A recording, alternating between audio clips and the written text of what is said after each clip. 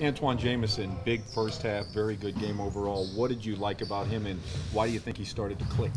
Well, I, I think he's playing with a lot of confidence, and really it's just opportunity. I mean, the opportunities that he's had, he's gone in there, he's made the most out of them.